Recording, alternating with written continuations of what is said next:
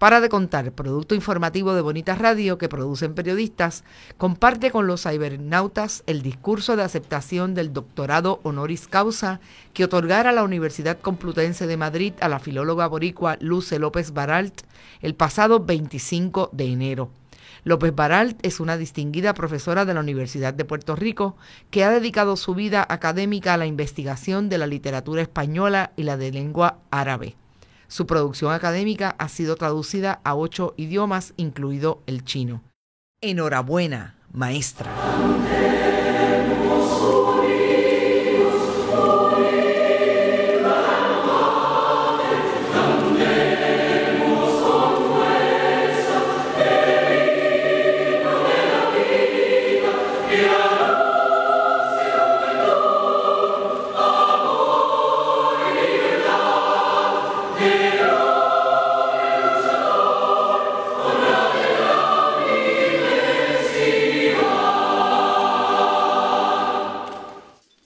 Rector magnífico de la Universidad Complutense de Madrid, profesor Carlos Andradas, excelentísimas autoridades, excelentísimo señor don Eduardo Garrigues, embajador de España y excónsul de España en Puerto Rico, excelentísimo señor don Mario Vargas Llosa, compañera doctora honoris causa señora Doris Salcedo, claustro universitario, señoras, señores, amigos todos. Agradezco vivamente al rector y a la Facultad de Filología, representada en su decano el profesor Eugenio Luján, la concesión de este doctorado honorífico que tanto me conmueve y tanto me honra. Va mi gratitud especial a mi madrina, la doctora Fanny Rubio, por su generosa laudatio tan emocionante para mí. San Agustín se pregunta por el sentido del tiempo en sus confesiones Quid est ergo tempus, sinemo ex me erat, scio, si quarenti explicare velim, ne scio. Es decir, si no me lo preguntan, lo sé. Si me lo preguntan, lo ignoro. Aunque también ignore yo el significado filosófico del concepto tiempo, este instante en cúspide de mi investidura como doctora por la Universidad Complutense me ha permitido descubrir que el tiempo es capaz de ser modificado, de ser redimido y conjurado. Este punto en el tiempo ha logrado para mí reconciliar mi pasado con mi presente, haciéndolos confluir de manera gozosa. Sé bien que los anteriores recipientes de este grado honorífico se habrán sentido honrados con su alta distinción. Evocar sus nombres me produce vértigo, Albert Einstein, Nelson Mandela, Alberti, Plácido Domingo, Adolfo Suárez, Elenia Poniatowska, Jane Goodall. Sin embargo, me atrevo a afirmar que a ninguno de estos sabios le emocionaría este título honorífico de manera tan íntima como a mí, pues culmina mi vida académica en un punto en el tiempo en el que todo pacta. Es un instante feliz que para mí abraza muchos otros instantes. Debo explicarles por qué. Y paso a contarles una historia destiempada. Hace 50 años debía haber lucido este birrete doctoral de la Universidad de Madrid, que entonces me eludió del todo. A finales de los 60 siguiendo la trayectoria de filólogos puertorriqueños ilustres que se habían formado en la Escuela de Menéndez Pidal, vine a Madrid a doctorarme. Aprobé con honores los cursos, pero lo hice de manera precaria, pues el ministro, Ministerio de Educación, no acababa de convalidar mis titulaciones previas de la Universidad de Puerto Rico y de la Universidad de Nueva York en Madrid, sin lo cual no podía culminar mi grado de manera oficial. Eran los años de la dictadura, tiempos recios, como decía Santa Teresa, y la universidad, frecuentada por huelgas y grises a caballo, veía violentado el sosiego de sus aulas. Estudié aquí con profesores distinguidos, pero tuve otros que por las circunstancias adversas de aquellos años solo podían enseñar en programas para extranjeros, mis inolvidables Carlos Bausoño y José Hierro pero nadie quedaba salvo de las tensiones del momento, ni siquiera Damaso Alonso, egregio catedrático de filología y poeta del 27, sobre cuya poesía, afición que comparto con mi madrina, la doctora Rubio, había escrito mi tesina para la Universidad de Puerto Rico. Damaso, así me exigió siempre que lo llamara, se interesó vivamente al saber que yo estudiaba sus versos, sostuvo larga correspondencia conmigo, proveyéndome datos invaluables para mi trabajo. Una vez en Madrid estrechamos una entrañable amistad que habría de durar muchos años. Nunca olvido el día que lo conocí en su jardín florido de Chamartín de la Rosa, que engalanaba un gato silvestre llamado Roldán por su extrema cobardía, con quien mi hermana Mercedes y yo nos amigamos enseguida. Damaso tuvo noticia de que la homologación de mis cursos tardaba demasiado en resolverse, dada la lentitud del aparato burocrático. Pasaban los años, el asunto se trocó en pesadilla. Una vez por semana nos presentábamos, mi hermana y yo, en el Ministerio de Educación para intentar homologar nuestros títulos universitarios previos. Los encargados de estas convalidaciones eran unos funcionarios, hay que decirlo, mal encarados, que siempre nos despedían, como otrora al monsieur Chandelet de Larra, con un malhumorado vuelva usted mañana. Indignado, Damaso decidió terciar por mí personalmente. Urdió un plan maestro. Argumentaría mi caso ante las autoridades del ministerio, diciendo que me había traído a Madrid y yo era su responsabilidad directa. Yo debía callar mientras él negociaba. Al acercarme al temido ministerio, en el coche oficial de Damaso, que era por aquel entonces director de la Real Academia Española, pensé que mi desgracia burocrática quedaría solventada, pues necesitaba convalidar estudios en lenguas románicas, la especialidad del maestro. Imposible encontrar un enchufe, como decíamos, más estratégico. Dicho y hecho, Damaso se presenta al ministerio con su gran despliegue de autoridad junto a su niña muda, y un primer funcionario impaciente lo envía, dado quién era, a una autoridad más alta, esta la autoridad lo dirige a otra, luego a otra, mientras Davanzo argumentaba mi caso cada vez con más desvalimiento. Ni liarse a gritos con la última de las instancias administrativas sirvió de nada.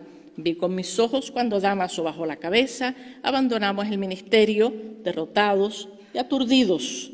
Nunca logré la deseada homologación. Aún está pendiente perdida en algún rincón del ministerio, y mi solidario amigo Damaso me recomendó a la Universidad de Harvard, donde al fin me doctoré en lenguas románicas.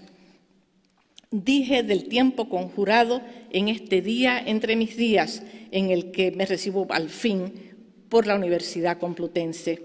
Es que este instante resume su pálpito en un punto, por decirlo con un verso de Manuel Martín López, y su palpitación conciliatoria hace que aquellos funcionarios de antaño del vuelva usted mañana dejen mágicamente su pasado inmemorial para trocarse de súbito en estos benévolos maceros que hoy me escoltan con sus atuendos ceremoniales a este podio venerable. El inamovible Ministerio de Educación de otrora se deslía en la gentileza del rector magnífico que me ha investido con este grado que al fin puedo dar por mío. La frustración académica de mis años de estudiante se trueca en gozo. Los tiempos confluyen y se reconcilian misericordiosamente.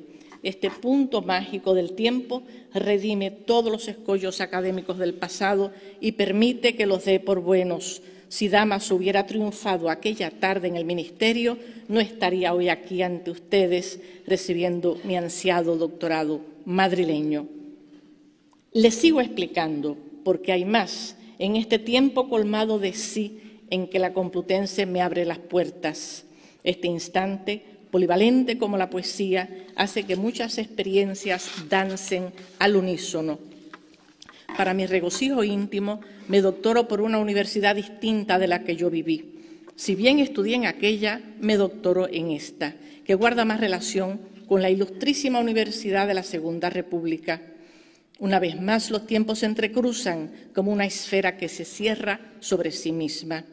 Cuando los años 60 caminaba por los pasillos de filosofía y letras, ignoraba lo que había sido y habría de ser esta casa letrada. Hoy sé bien de las altas metas que tuvo cuando era aquella institución abierta que contaba con claustrales de la talla de Ortega y Gasset, Menéndez Pidal, José Gaos, Javier Subir y Américo Castro, Asín Palacios, María Zambrano, María de Maestu, Pedro Salinas, o con jóvenes alumnos como Alonso Zamora Vicente, a quien tuve la dicha de tener como profesor aquí. Tarde fue que llegué a comprender la magnitud de su indignación cuando los grises irrumpían a caballo y teníamos que huir juntos de la facultad.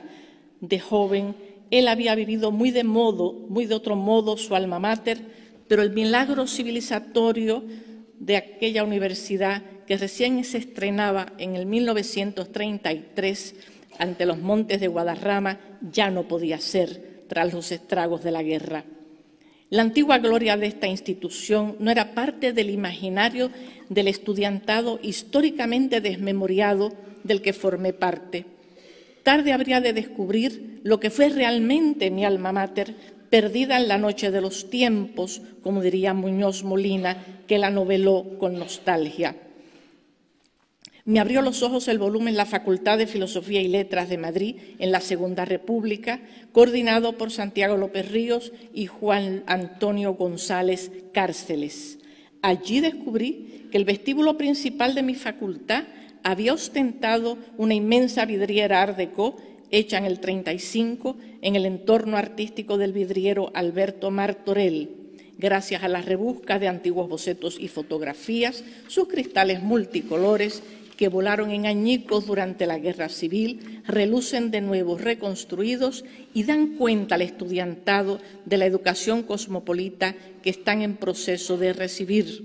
Y traigo el ejemplo del ideorama luminoso de esta vidriera porque sintetiza el abrazo sabio que esta universidad dio a las civilizaciones más disímiles gracias al vicedecano López Ríos, a cuya memoria histórica tanto debe la Complutense, he logrado descifrar su mensaje encriptado, inspirado en las disciplinas que se estudiaban otrora, la prehistoria, el arte ibérico, la América precolombina, Mesopotamia, Egipto, Grecia, Roma, la Edad Media, el Buda de la India, el Islam, la concha inmemorial del peregrinaje a Compostela, las distintas etapas de la cultura universal coexisten congeladas para siempre en el abrazo fraterno de este ventanal policromado que todo los reconcilia generosamente. Pero la vidriera restituida al fin a su lugar constituye también una mandala donde confluyen los distintos tiempos históricos que ha vivido la Complutense, que hoy se reconcilia consigo misma en el espacio gozoso de estos vidrios ardeco.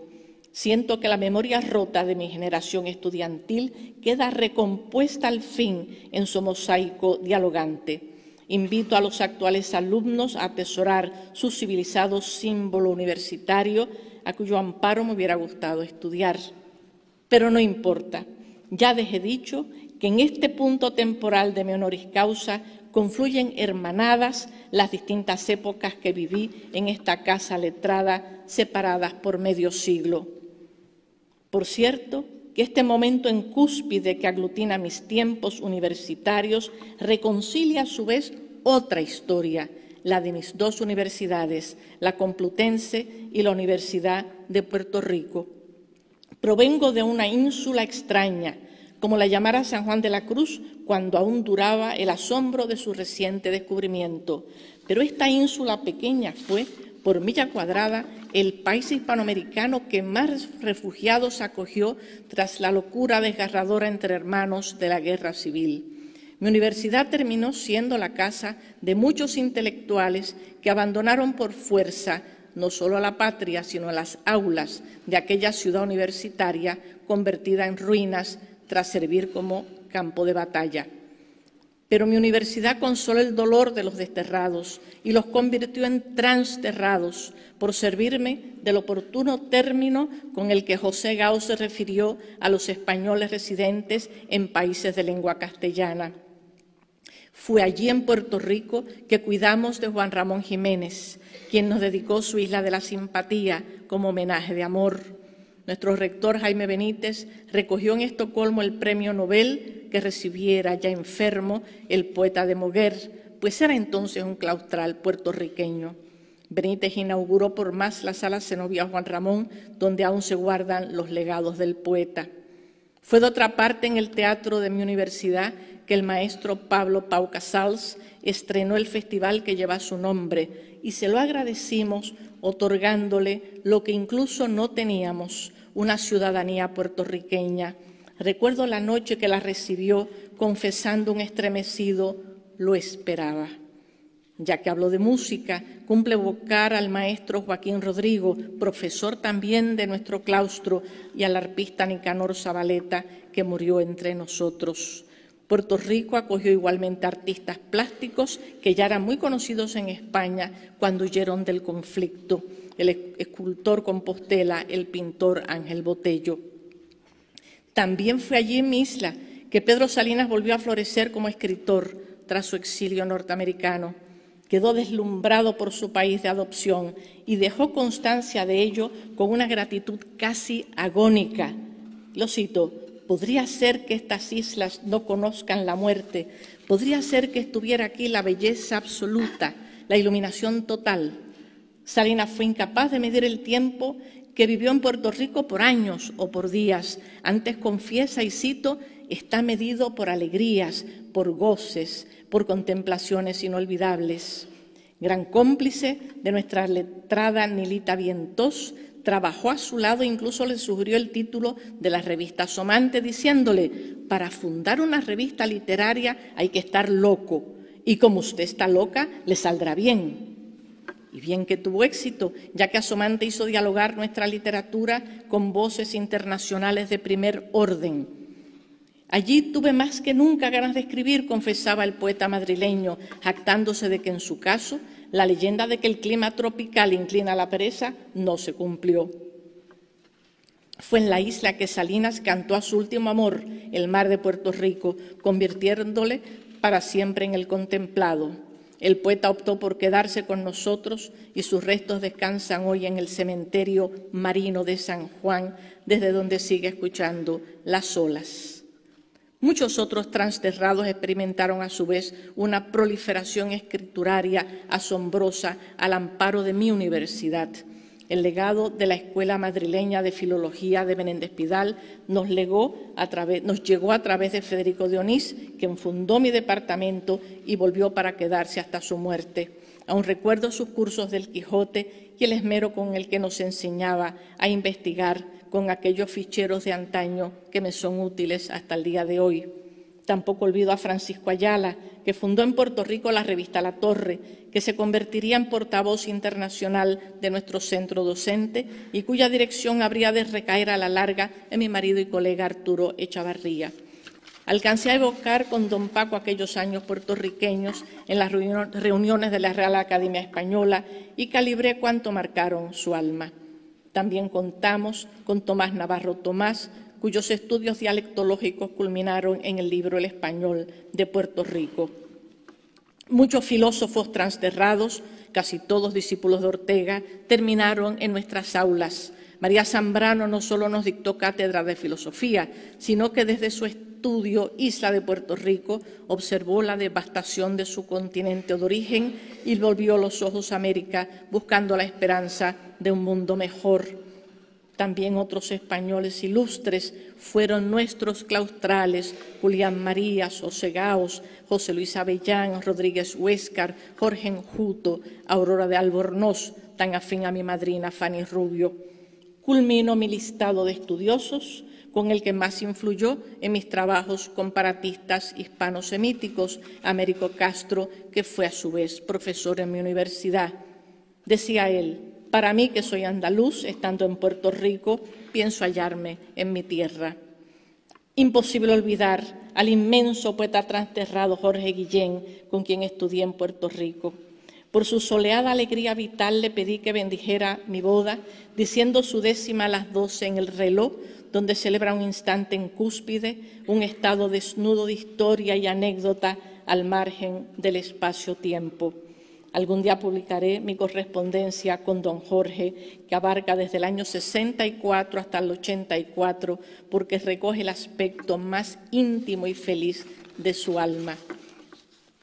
Bueno, si Juan Ramón terminó su deslumbrante poema Espacio en San Juan, si fue allí que Casals fundó su festival de música, si allí María Zambrano pensó su continente arrasado por la guerra y Salinas cantó a su contemplado, cabe considerar que la Universidad de Puerto Rico se convirtió en el espacio más deslumbrante del exilio español, más aún gracias a tantas figuras de primer orden que terminaron en nuestras orillas, la institución que hoy llamamos Complutense prácticamente intercambió su egregio claustro de otrora con mi universidad.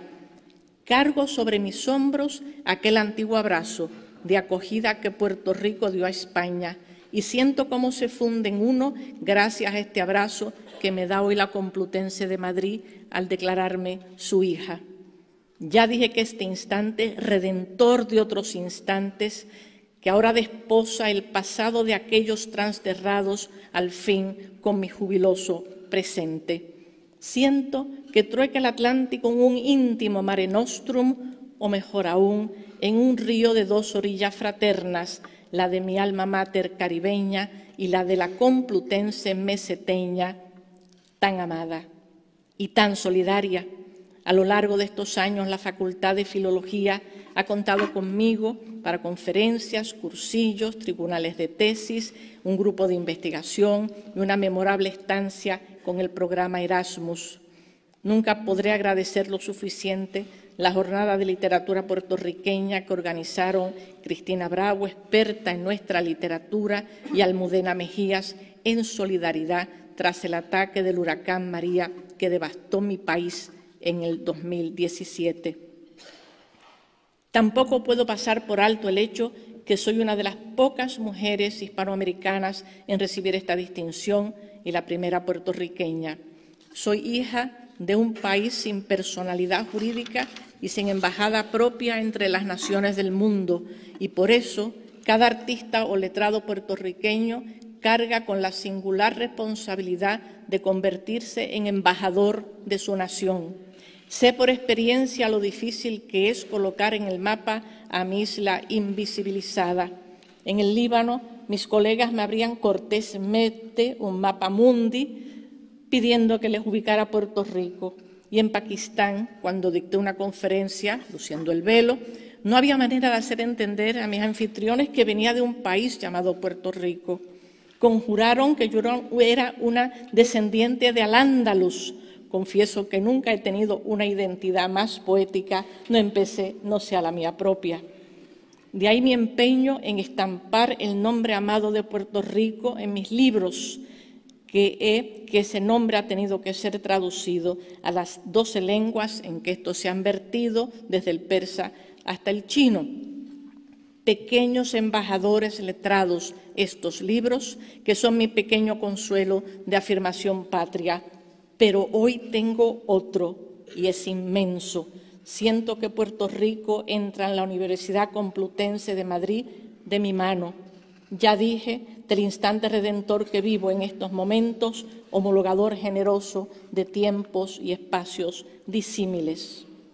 He hecho mención de lenguas orientales y quisiera agradecer el hecho de que hayan sido dos departamentos, los antiguamente llamados estudios árabes e islámicos y filología española, bajo la dirección del doctor Ahmed Salam ul Mohamed Baba y el doctor José María Díez Borque, los que respaldaron este honoris causa, que canto honra mis estudios comparatistas en torno a estas dos culturas que se dieron la mano sobre suelo peninsular.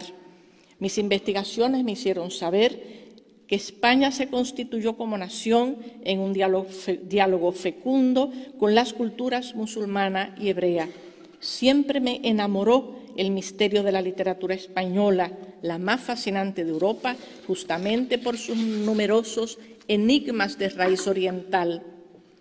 He explorado con asombro los motivos temáticos islámicos del libro del buen amor de Arcipreste de Ita y he logrado descifrar muchos pasajes cervantinos que resultan opacos si no se conoce el contexto del cautiverio argelino del autor del Quijote. Hablando sobre todo ello, quemé horas inolvidables con mi hermano de entusiasmos, el profesor Francisco Márquez Villanueva, que tanto ha hecho por aclarar estos extremos. Me deslumbraron asimismo los extraños manuscritos que los moriscos del siglo XVI escribieron desde la clandestinidad en un castellano transliterado con caracteres árabes. Fue una inmensa alegría rescatar para la posteridad las voces largamente silenciadas de estos últimos musulmanes de España. También he sorprendido los diálogos soterrados de San Juan de la Cruz y Santa Teresa con la simbología mística musulmana, Ambos reescribieron con pluma fecunda numerosos símbolos sufíes como los siete castillos del alma, la noche oscura, las esmeraldas del éxtasis, el pájaro solitario que carece de determinado color. Por cierto, que este último símbolo imantó de tal manera Juan Goitisolo, premio Cervantes, para mí leal compañero de camino, que se las arregló para trenzar nuestras voces literarias de manera que cantaran al unísono en su novela Las virtudes del pájaro solitario. solo cerró su Juan sin tierra en lengua árabe y saboreó la esterofonía arábiga de la prosa babélica de Julián Ríos, pero para mí su gesto hibridizante constituye un inconfesado homenaje a España y un intento de reconciliarse con su historia Vargas Llosa desconfió siempre del supuesto desprecio antiespañol que expresa Juan en Don Julián, y lo cito, tanta maldad es sospechosa. Cuando se insulta a Dios es como si se le rezara. Estamos ante una tentativa de purificación por el fuego atrozmente amorosa. Estoy de acuerdo, Mario. Parecería, de otra parte, que los hispanoamericanos asumimos las excentricidades literarias de estos textos peninsulares con un especial sentido de camaradería. Borges lo supo bien. Al no pertenecer estrictamente a ninguna tradición literaria europea consagrada, el pensador latinoamericano puede saquearlas y apropiárselas todas con un alto grado de libertad intelectual, sin la cautelosa precaución con que lo haría un autor europeo. Provenimos de unas tierras cimentadas en la diversidad de culturas y en la pluralidad de lenguas y razas. La nuestra no debió ser una experiencia demasiado distinta de la que se experimentaría en la España medieval de las tres castas, donde Juan Ruiz podría haber chapurreado el árabe y Raimundo Lulio escribirlo con holgura, al igual que Semtop de Carrión, que oscilaba entre el hebreo y el castellano. De experiencias híbridas como estas es precisamente que nació una literatura pluricultural como la de las harchas, que requerían poetas políglotas en árabe, mozárabe y hebreo, la literatura aljamiada y aún los enigmáticos textos plumbios del Sacro Monte, pues requirieron autores moriscos versados en cánones literarios plurales. ¿Y cómo no comprender esto desde nuestra América mestiza? Bien que lo supo Américo Castro al plantearse en la realidad histórica de España la pregunta del propio ser, siempre fluctuante, de su nación española. Entendió que un país que fuera llamado a la vez Hispania, Sefarad y Al-Ándalus no podía ser monolíticamente occidental, sino plural y por ello mucho más rico. Pero vale recordar que Castro hizo su valiente propuesta histórica desde su exilio americano. Sus, libros vieron la luz en México y Argentina y que su nombre Américo honra su nacimiento en Brasil, lo que le daría por fuerza una óptica hermana para la hibridización cultural. Hoy la Facultad de Filología, reconociéndolo como uno de los grandes intelectuales del siglo XX, le ha dedicado un aula que lo devuelve a su antiguo claustro madrileño. He consagrado, pues, mi vida de estudiosa a tender puentes fraternos entre culturas encontradas y hacerlas convivir sobre la página escrita, tal como conviven hermanadas en la vidriera Art de la ciudad universitaria en este grado honorífico que reconoce mis estudios comparatistas, siento que se abrazan simbólicamente Isabel de Castilla, Boabdil de Granada, los moriscos de Aragón y los judíos de Toledo. y siento también que me acompañan compañeros de camino como Márquez Villanueva, Coitisolo, Steven Gilman, José Jiménez Lozano y tantos otros que admiraron la complejidad cultural española con la misma veneración que yo. Como lo hizo mucho antes mi mentor póstumo Miguel Asín Palacios, eximio arabista de esta casa, cuyos libros inéditos he tenido el privilegio de dar a la luz y cuyo birrete azul al fin comparto. Comencé mis palabras refiriéndome a la perplejidad de San Agustín ante el misterio del tiempo. Si no me lo preguntan, lo sé. Si me lo preguntan, lo ignoro. Hoy sé que muchos tiempos disímiles son capaces de reconciliarse en un instante, para mí tan perfecto como aquel que cantara Goethe en el Fausto.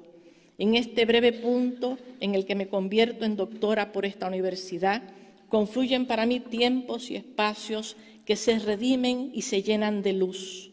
Mi accidentado pasado estudiantil en Madrid, mi jubiloso presente de acogida, la vidriera destruida en la guerra que vuelve a refulgir su diálogo intercultural en estos claustros, el antiguo abrazo de mi alma mater puertorriqueña a los refugiados españoles, que hoy culmina en esta bienvenida que me da la Complutense y que siento a manera de entrañable doctorado amoris causa.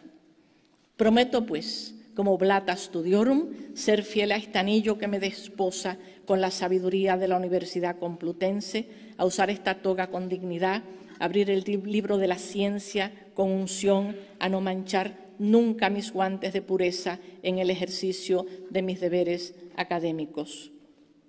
Reitero mi gratitud al señor rector Andradas, a mi madrina Fanny Rubio, a mis nuevos colegas de esta casa, a la decana Agnes Bosch, que viajó de Puerto Rico para esta ocasión, y a tantos amigos que vinieron desde tan lejos como Turquía y Túnez. Shukran y a todos ellos, gracias de corazón. Agradezco de manera especial la presencia solidaria del Nobel Mario Vargas Llosa, a quien me une una amistad de 50 años. Ambos ostentamos un honoris causa de la Universidad de Puerto Rico y hoy esta misma toga nos vuelve a hermanar. Gracias, Mario.